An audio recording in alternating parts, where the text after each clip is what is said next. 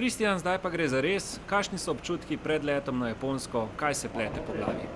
Mislim, jaz sem ga vsi plate, ne, ne, nekaj še razmišljam zdaj o japonski pa to, čeprav da malo že zdaj bomo že leteli pa to, ampak še nekaj fest razmišljam. Uh, kako so potekali dnevi pred odhodom?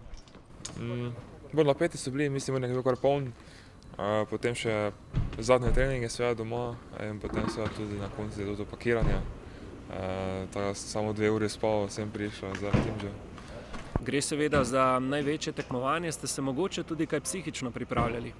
Ja, tudi sem se, tudi za psihologijo šla skozi včeraj, uh, tako da sem se tudi na ta način pripravil.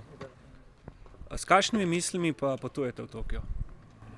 Ja, z dobrim je, da sem dobro pripravljen, da sem, da sem naredil vse, kar sem lahko dosem in seveda, da sem maksimalno potrudil v Tokio. Tokio bo lepo število slovenskih športnikov, boste vrgli oko tudi na nastope naših ostalih odličnih športnikov? Ja, seveda, na košarko sem vseeno bom vrgel oko, potem seveda, kaj drugi šport, ki me bo zanimal, seveda pa predvsem tudi atletiko.